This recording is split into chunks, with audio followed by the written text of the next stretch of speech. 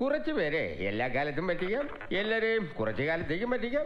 പക്ഷേ എല്ലാരെയും എല്ലാ കാലത്തും പറ്റിക്കാൻ പറ്റില്ല. ഒന്ന് ചുമ്മാ ഇരിടെ.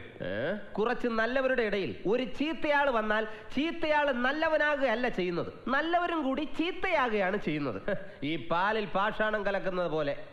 നിർത്തിയിട്ട് പോടാ. മനുഷ്യനോട് പ്രാന്ത് പിടിച്ചിരിക്കുമ്പോഴാണ് ഒരു തത്വം പറച്ചിൽ. തത്വം പണച്ചിലൊന്നും ഈ ചൂടൊക്കെ ഭാര്യമാരെടുത്ത് കാണിക്കാത്തത് ഏതായാലും സ്വന്തമായിട്ട് ആപ്പീസ് ഉള്ളതിന്റെ ഗുണം ഇതൊക്കെയാണ്.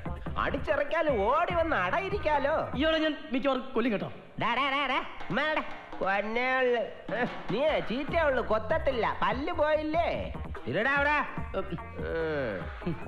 സത്യം പറഞ്ഞാൽ നിങ്ങളുടെ ഈ അവസ്ഥയിൽ എനിക്ക് വിഷമമുണ്ട്.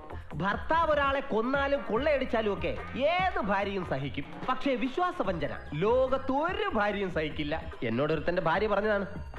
അറിയാം. നിങ്ങൾ പെട്ടുപോയതാണ്. ഇനി തടി ഊരണം.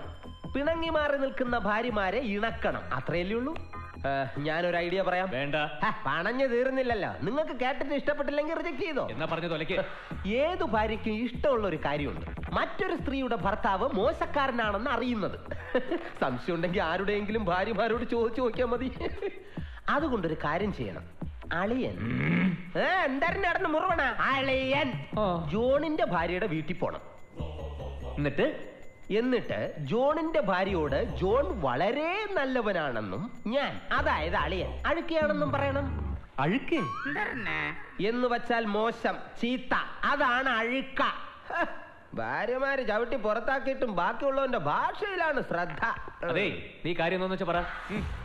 അതുപോലെ ജോൺ കൃഷ്ണേന്ദു ചേച്ചിയെ കണ്ടിട്ട് മുകുന്ദേട്ടൻ നല്ലവനാണെന്ന് പൊക്കി പറയണം. ഒപ്പം നീ തനി കൂതറയാണെന്നും പറയണം. പറയേണ്ട കാര്യമല്ല എന്നാലും പണഞ്ഞേക്ക് സ്വന്തം ഭർത്താവിന്റെ മാഹാത്മ്യം മറ്റൊരു ഭർത്താവ് പറയുമ്പോൾ ഭാര്യമാരുടെ ഉള്ളിൽ ഒരു ചഞ്ചലനം ഉണ്ടാവും കൃഷ്ണേന്ദ്ര ചേച്ചിയുടെയും സെറീനയുടെയും മനസ്സ് മാറിയതിനു ശേഷം അവർ രണ്ടുപേരും കൂടി ഇവന്റെ ഭാര്യ കാര്യങ്ങൾ പറഞ്ഞു മനസ്സിലാക്കട്ടെ.